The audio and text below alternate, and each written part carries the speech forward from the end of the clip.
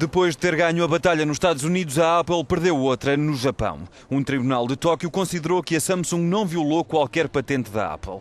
No Japão, o processo dizia respeito a uma patente de transferência de conteúdos multimédia entre dispositivos. Os responsáveis da Samsung mostraram-se satisfeitos com a decisão da justiça nipónica, já os representantes da Apple não quiseram fazer qualquer comentário. Recorde-se que o Tribunal da Califórnia condenou a marca coreana a pagar 1.500 milhões de dólares à Apple na semana passada. Ao processar a Samsung, apresentando provas e deixando os meios de comunicação interessados no assunto, a Apple quer deixar a impressão que a Samsung só faz cópias.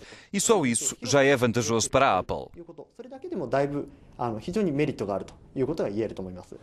Também na semana passada, na Coreia do Sul, as duas marcas viram um tribunal fechar um processo, mas nesse caso as duas foram condenadas por violação da lei das patentes. Estas são algumas das principais batalhas de uma guerra que ainda vai ser longa. A Apple e a Samsung têm cerca de 50 processos a decorrer em 10 países.